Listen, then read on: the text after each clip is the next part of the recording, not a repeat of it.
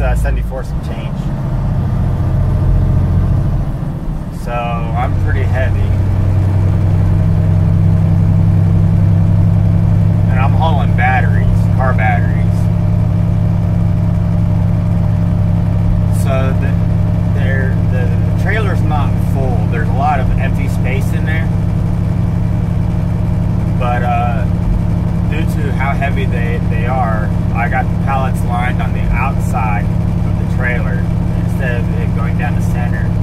The pallets are smaller than, uh, oh wow, snow just fell off that tree.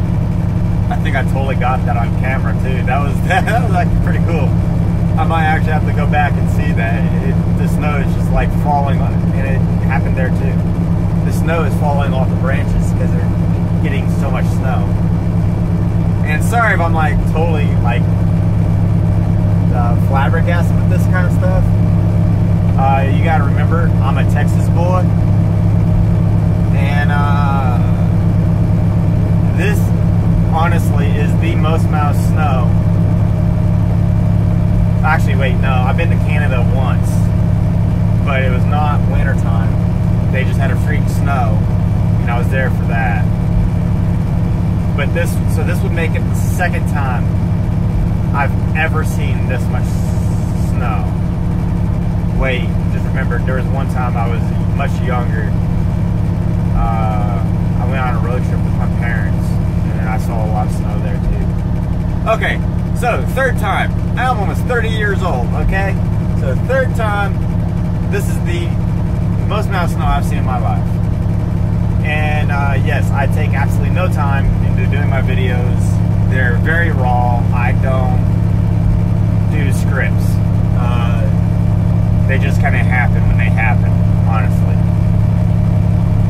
But uh, wow is all I can say.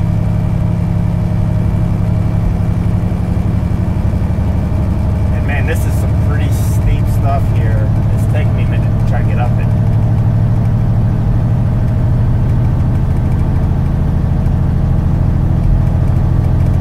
Alright, I'm starting to build up a little bit of speed now. So, uh, it looks like it's going up again.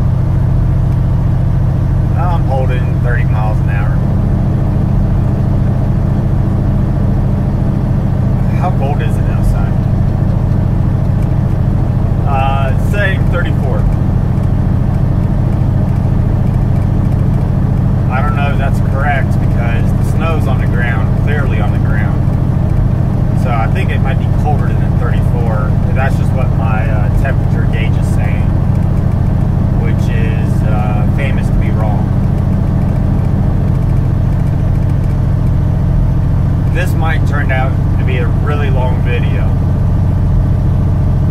But this is just, it's nice. And hopefully I don't have any problems uh, going up this mountain. Uh, because the shoulders covered in snow and probably ice. And so if I have to pull over, that could, that could be a problem. And this is why doing a pre-trip and keeping your vehicle in tip-top maintenance is very important. You don't want breakdowns in situations like this. Even though they can happen, the better you do, the better you take care of your vehicle, the less likely it will happen. Guys, that that's just really pretty. It really is. I would not want to live up here though. It's pretty to drive through, but man, I wouldn't want to live with it.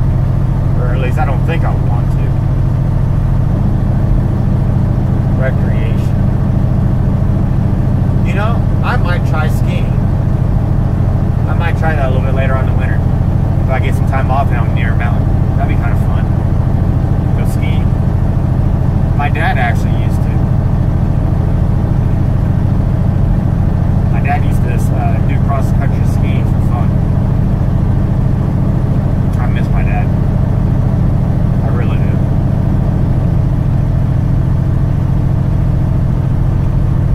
Yeah, it says watch for ice in shaded areas and on bridges. I wonder why you would want to watch for ice right now.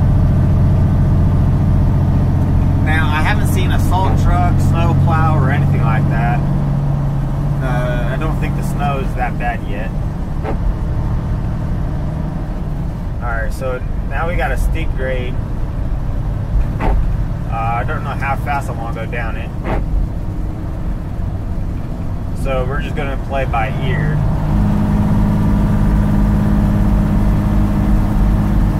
Speed limit is 65 miles an hour, but when you're in a situation like this, you drive the as fast as you can safely. So I'm doing 45. I think that's reasonably safe.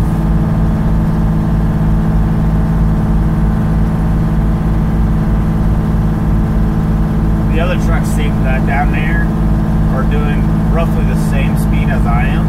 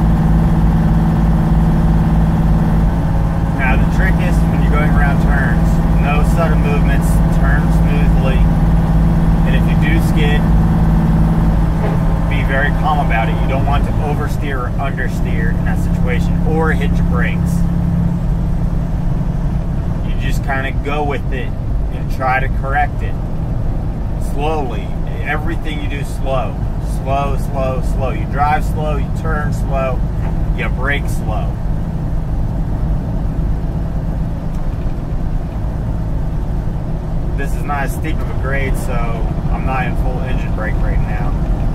I am using cruise control to just to help maintain a smooth speed through here, even on the uh, downslopes.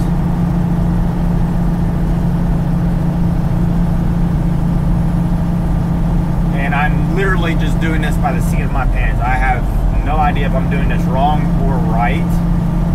Uh, so any of my YouTuber or any of my YouTube people that are watching my videos, if you have any suggestions, please let me know. I'm always ready to learn more.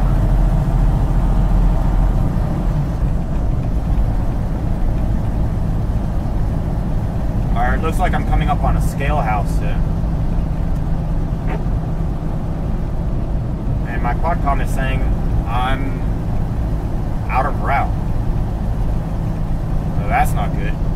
I don't know if it's because it's screwing up because I'm in the mountains or what but I should still be on 90.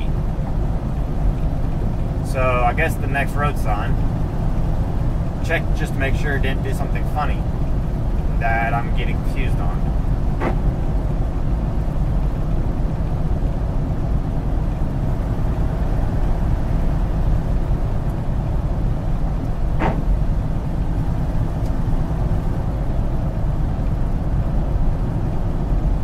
Okay, my GPS is screwing up. I'm sitting here, I saw it. It's bouncing all over the place. So chances are I'm still on 90. I'm doing fine.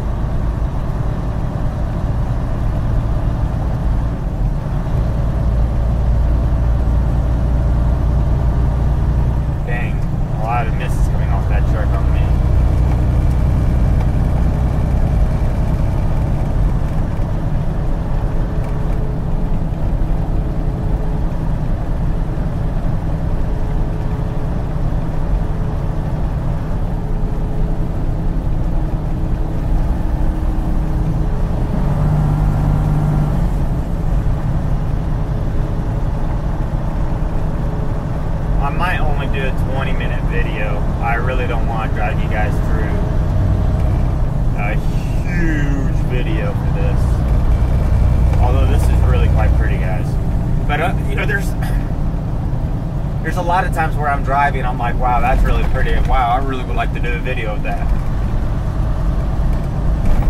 But I would be doing nothing but scenery videos all across America. America has some great driving time, guys. And if you've never been out driving, you know, went coast to coast, I would honestly say you should. There's a lot to see.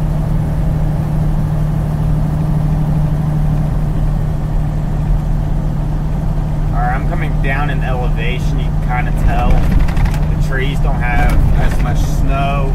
The ground has less snow.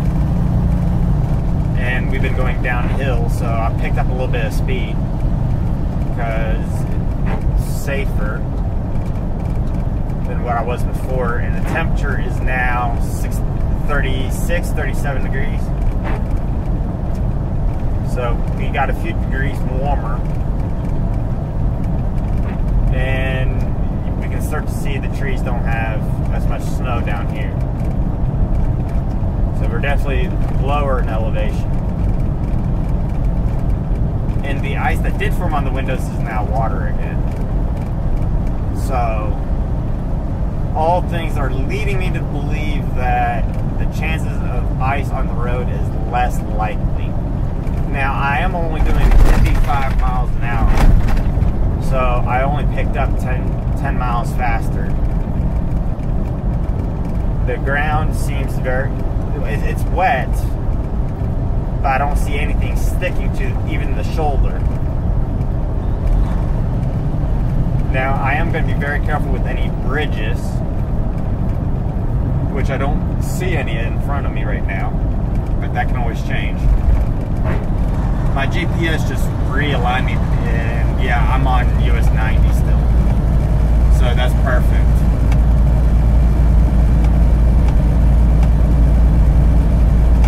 I'm going to be on 90 for a long time, guys.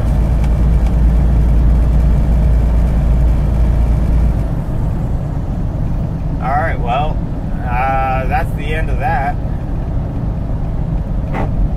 I'm now at the bottom.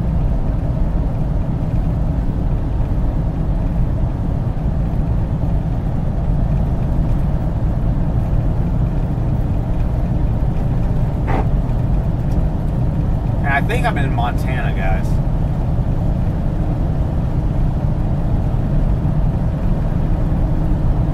I really should know.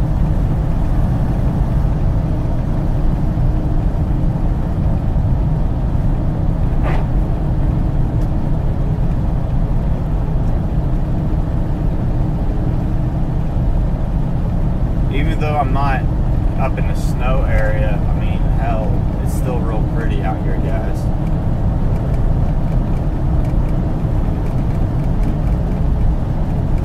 And Up 17 minutes of your your time. Thank you for sitting here and watching and listening to me.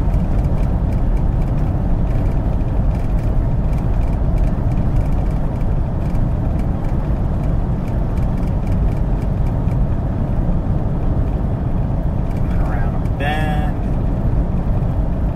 I'm still doing 55. I'm not concerned about going any faster right now.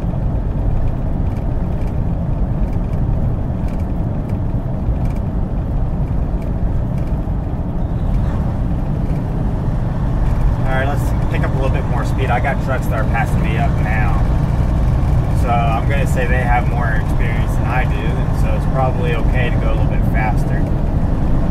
But I'm still not going to be the fastest truck on the road. There's no reason to be. I have plenty of time to get where I need to get to.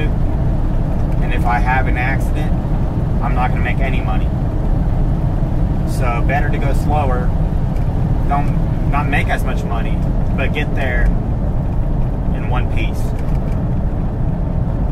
And I would make more money than sitting around waiting for another truck, moving all my stuff, and having an accident on my uh, report. So yeah, just better to go slower. Overall, my opinion.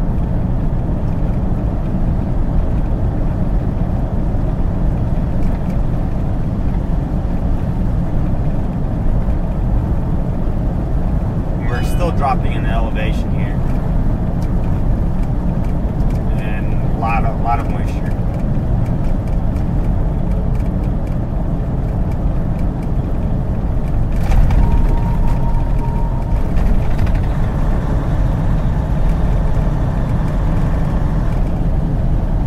Oh, is there a scale house coming up?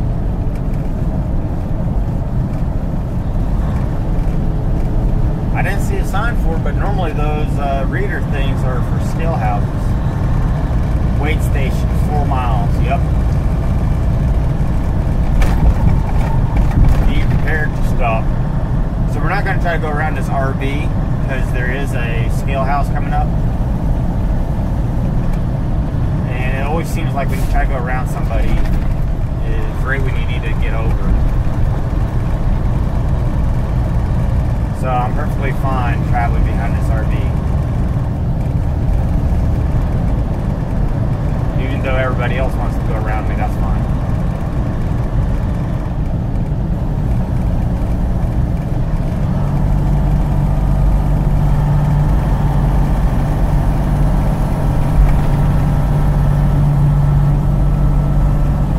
And I'll take you guys through the scale house if I get called in.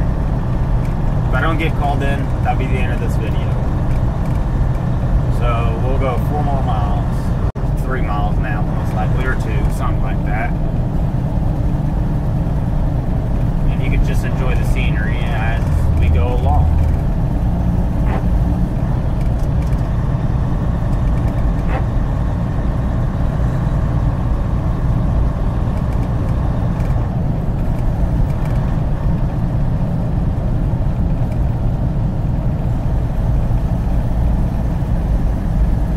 I got a bus and a truck behind me. I got an RV in front of me, and the two trucks in front of me that passed me uh, up, and a car. That's who I'm traveling with for the day.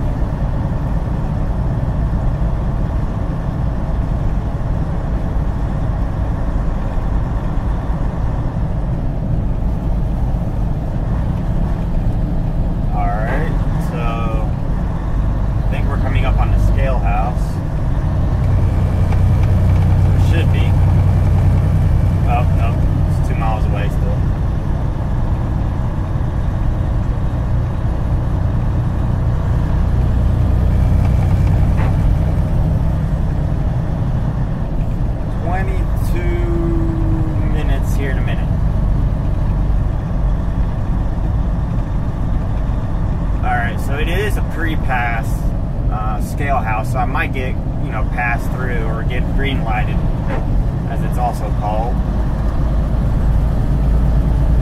So we'll be listening for a beat and seeing if I have a red, yellow, or green. And I've never gotten a yellow, but I know red means to go in, green means you can go. Uh, yellow, I'm gonna say you go in anyway.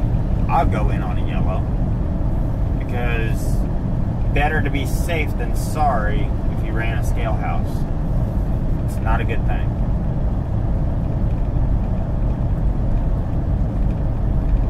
Boy, it, it I mean, there's just nice picture, you know, nice scenery, picture, video, where the hell, all around here.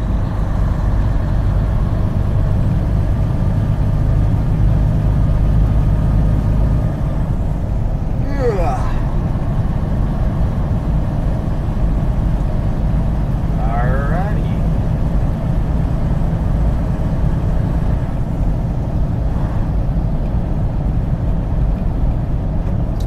I'm wondering the scale house is going to be on this side of the road or the opposite side of the road.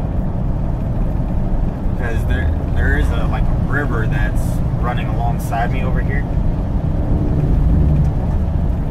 So wait station left lane, it's the median one.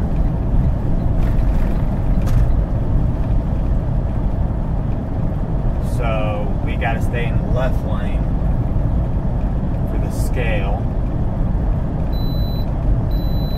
And I got a green light. So that means I do not need to stop.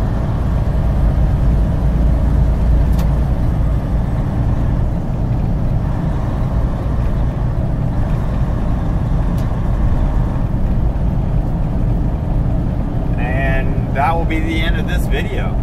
So thank you for watching. Please comment, like, and subscribe. I got a lot of content coming to you. Uh, I'm gonna sit down when I can and try to think of like an upload pattern. Uh, and let me know what you guys like and what you guys don't like, so I know how to, uh, you know, capitalize on my viewers here. Anyway, uh, once again, thank you for watching. Please comment, like, and subscribe. I do read every comment. Thank you.